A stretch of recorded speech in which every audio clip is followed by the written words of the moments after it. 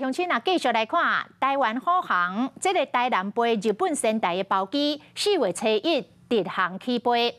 市长王伟提到时阵，嘛坐接班到日本来拜会着仙台的市长。但是问题是，涉嫌贿选和起诉的台南市的正副议长区里里甲林志典，嘛陪同做伙去。所以，二昨台南市议会召开的临时会，国民党的议员就轮番来辩论，来炮轰着王伟提。敢讲毋惊即两人会趁机会来逃走。啊，台南地方法院针对着议员的质疑，讲目前因两个人并无要弃保逃走的信息甲现象，所以会按照着正常的定数来审理。如果你跟他们一起去参访，表示你支持黑金。两个议员先开炮，火力真强，说来保当一议员嘛大声骂。黑金两字还未背清楚进程，你敢袂使交伊做出国啦？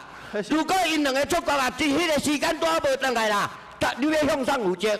阮是要找市长负责，还是要向找台南市议会负责？各议员轮流小结，临时会整个正日，因为四月七日，市长吴伟特会坐头一班飞龙机去日本拜会仙台市长，涉嫌贿选的正副议长辜丽丽含林志典嘛拢会去，讲我市长含扣起诉两人同齐出国参访，实在是伤过含过。一个暴力介入选举。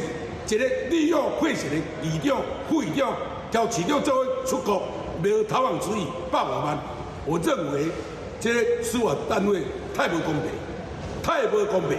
蔡玉辉讲，库里里含林志典两个人的交保金，分别是一百五十万含一百二十万，就是涉嫌重大交保金这一济，说无限制出境，佮对人出国，感觉这个裁定无公平。啊，台南市府回应讲是奉邀请去的。市府和议会呢是受到旅行公会的邀请来参加这一次的首航活动。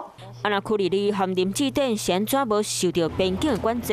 台南电影讲，这件政府局长的贿选案，一审欢迎了后，两人并无要起报走路的消息和现象，所以照正常天数审理。四月二日会开准备天数庭，除非有无平常的消息传回来，法官再个另外做考虑。